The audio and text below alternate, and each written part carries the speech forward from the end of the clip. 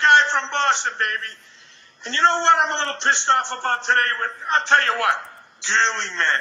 That's right. Guys that don't have a set of nuts. That's right. Guys that let their girlfriends, their gumadas, you know, those guys, yeah, the guy that had to ask his mother if he could go outside and play.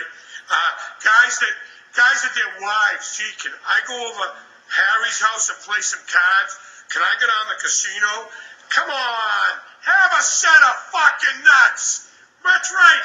You think my gumada tells me what to do? Yeah, your ass. I'll tell you what I tell her. I, I didn't hear you. Yeah, okay. I don't ask permission to do nothing. I'm over 21. You pay the fucking bills in the house. Stand up and have a set of nuts. And if you know some of these people, you know some of these people, email me. Email me. We'll straighten the whole fucking country out together. The guy from Boston and you. That's right.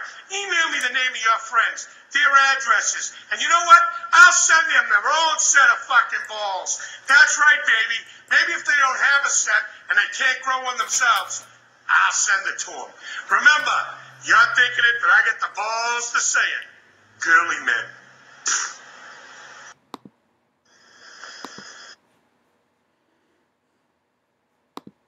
Oh, the guy Boston, baby. Ah, shit. There it is. Grow a set of fucking balls.